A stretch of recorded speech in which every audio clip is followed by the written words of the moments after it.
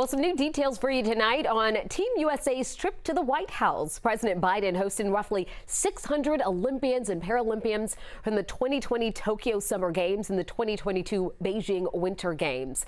A group of Georgia athletes were included. Bobsledder Elana Meyers Taylor from Douglasville was there. Elana is the most decorated black Winter Olympian. President Biden shared how the athletes are an inspiration to young people and a great example of grit in America. As I said to our foreign leaders, my counterparts, there's no quit in America. There's just no quit. And you're the quintessential example of that. There's no quit in America. None. Summer Olympian Kenny Selmon is from Mableton, Georgia. He spoke with our Cheryl Preheim about this historic trip to D.C. For the first time that they've brought the Winter Olympics and the Summer Olympic teams together to the White House. So we kind of I've been meeting people from you know downhill skiing, like speed skating, all types of individuals. Kenny also got a tour of the Capitol yesterday and met Georgia's U.S. Senator Jon Ossoff.